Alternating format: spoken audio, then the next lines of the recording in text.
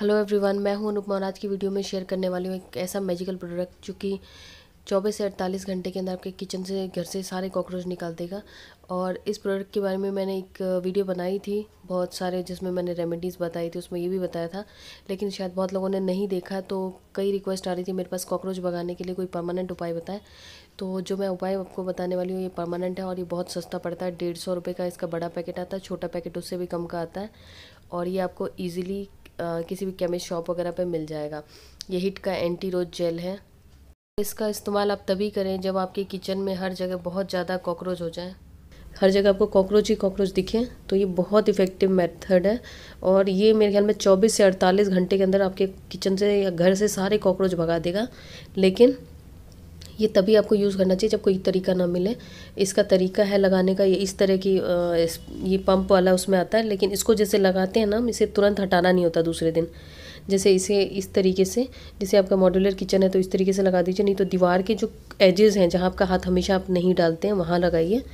इसको हटाना नहीं होता, इस तरीके से हमने लगा दिया।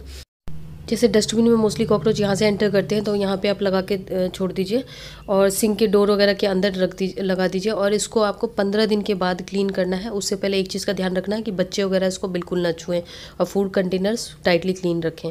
और कॉकरोच ना हो किचन में, उससे बचने के लिए कुछ तरीके हैं। जैसे आप खाना बनाते हैं, जब भी बनाते हैं, उसके बाद हमेशा गैस स्टॉप ज़रूर क्लीन करें, क्योंकि गैस वगैरह पर कुछ भी फ़ूड लेफ़्ट ओवर रह जाते हैं तो वो कॉकरोच के लिए मतलब बहुत ही अच्छा मतलब अट्रैक्शन का वो बन जाता है कि कॉकरोच उससे फिर आते हैं। तो इसलिए गैस के नीचे भी ज़रूर साफ़ करें। कई बार हम लोग आलस के चक्कर में छोड़ देते हैं और ख़ास करके रात को सोने से पहले ये काम ज़रूर कर लें।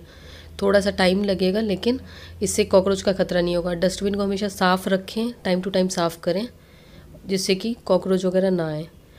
किचन का सिंक उसको हमेशा साफ़ और सूखा रखें, खास करके रात को सोते समय। इस वीडियो में मैंने जो मेथड बताया, वो हंड्रेड परसेंट इफ़ेक्टिव है, हंड्रेड परसेंट काम करता है, इवन कि मैं भी इसे यूज़ कर चुकी हूँ। तो ये वीडियो मेरे ख्याल में उन लोगों के लिए काफ़ी हेल्पफुल रहेगी जो कॉकरोच से परेशान है तो इस वीडियो को शेयर ज़रूर करें, ताकि जो लोग कॉकरोच से परेशान है, वो इससे छुटकारा पा सकें। Thank you bye